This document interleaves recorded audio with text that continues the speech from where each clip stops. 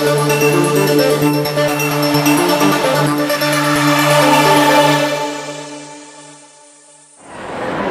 kami uh, ulang tahun Kota Semarang merupakan agenda rutin yang setiap tahun kita laksanakan uh, dengan tema Semarangku Kebanggaanku.